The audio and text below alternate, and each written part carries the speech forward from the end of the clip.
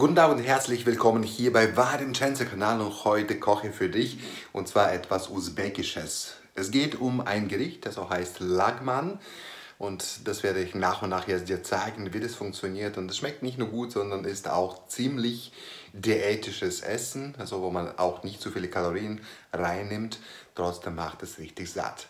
Sei gespannt. Und alles, was du hier siehst, brauchst du für dieses Gericht. Und zwar, ich habe schon alles vorgeschnitten, also ich habe euch jetzt erspart das ganze Schneiden vor der Kamera. Und zwar hier sind drei Kartoffeln. Die werden gewürfelt, also so in kleine Stücke.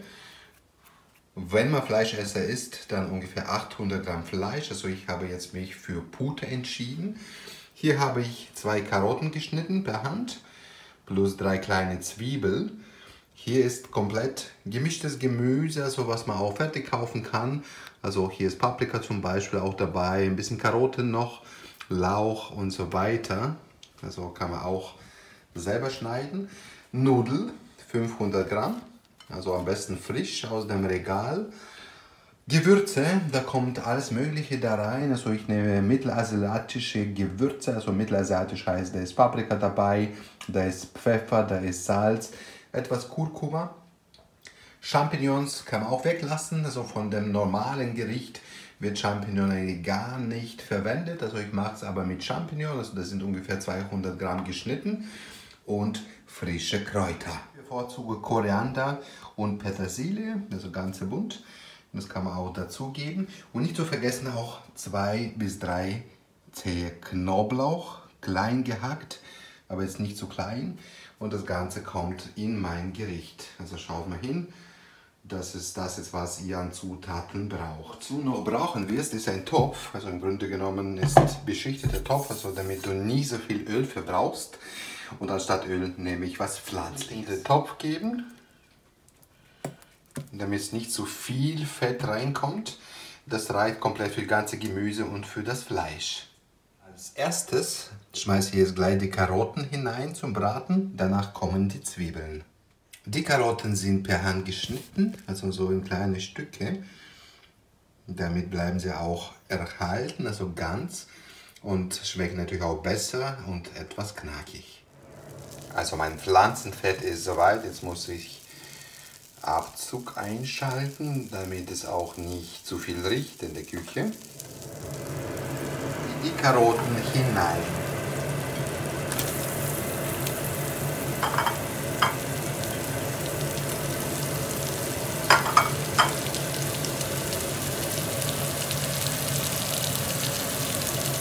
Schön mischen.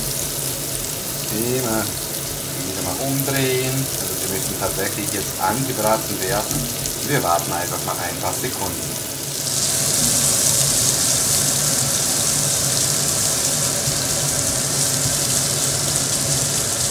Apropos, wenn du mit der Pute kochst, am besten wäre es natürlich, die Pute jetzt nicht vorzubraten, sondern zum Schluss reinzugeben. Da hast du ganz weiches Fleisch. Und wenn du mit anderen Fleischsorten kochst, dann sollte jetzt das Fleisch hineinkommen können auch schon die Zwiebeln hineingeschmissen werden. So, alles schön vermischen und weiter braten.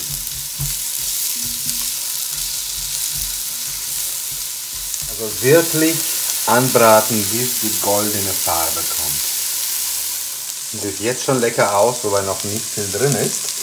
Übrigens, die Portion, die ich euch jetzt vorstelle, reicht ruhig für 5 bis 6 Personen. Das ist jetzt schon angebraten. Man sieht auch goldene Farbe, die Zwiebeln und die Karotten. Jetzt kommt restliches Gemüse noch dazu.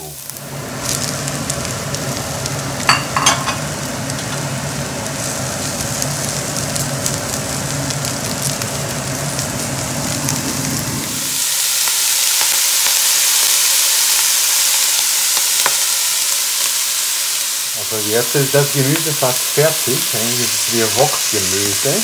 Wenn man genau hinguckt. Alles schon schön angebraten. Also Abzug habe ich jetzt ausgemacht, sonst ist es zu laut. Also alles noch knackig. Und jetzt kommt auf jeden Fall noch nächste Zutat dazu. Fleisch. Also ich gebe jetzt Fleisch hinein, damit es auch weich bleibt. Und jetzt nur noch kurz anbraten, bevor das Wasser dazu kommt.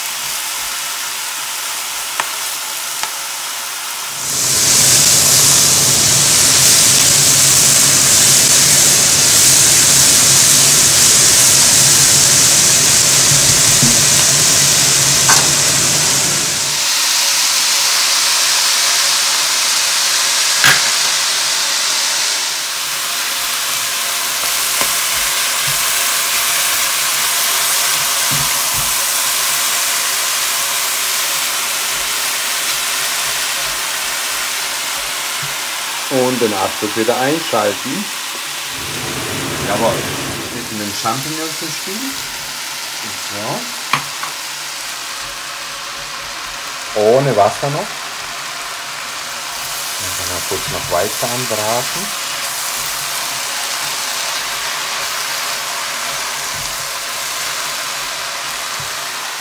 Und nun kommt das Wasser dazu.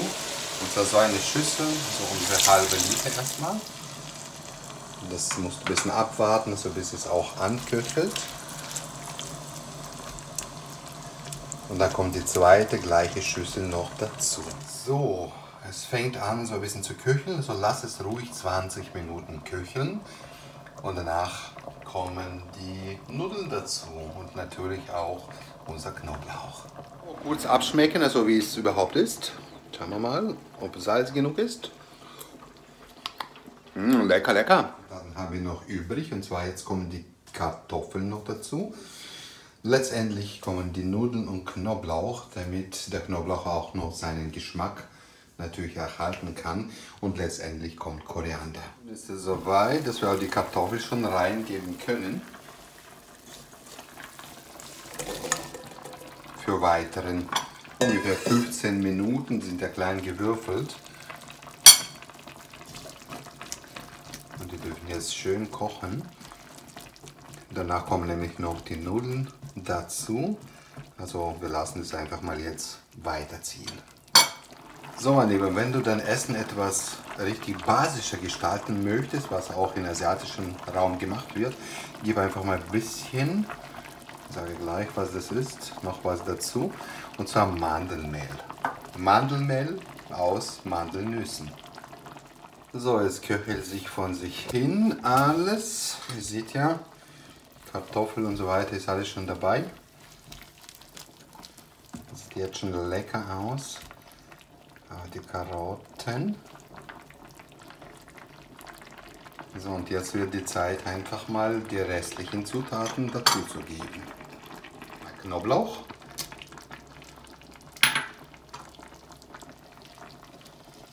Gut vermischen. So, letztendlich kommen jetzt auch die Nudeln dazu.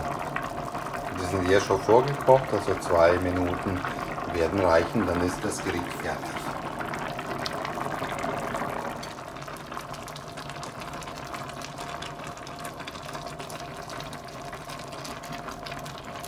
Man kann auch ein bisschen Wasser dazugeben, wenn man mag.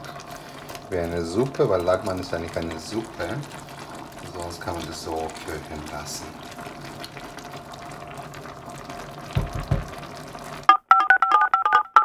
Ja, nun ein wenig Koriander dazu geben mit Petersilie gehabt. Ein bisschen zum Verkochen, der Rest kommt eigentlich danach, wenn das Ganze schon serviert wird. Fertig. Nun alles durchmischen. Die Suppe ist fertig mit Nudeln und Kartoffeln ganz was Spezielles. Aber schmeckt richtig gut. Ist ja auch keine Suppe, sondern eher ein Nudelgericht. Soweit. Lasst euch schmecken. Ciao, ciao. Euer Vadim. So sieht das fertige Gericht auch aus. Ganz lecker. Lasst es schmecken. Ciao. Dein Vadim.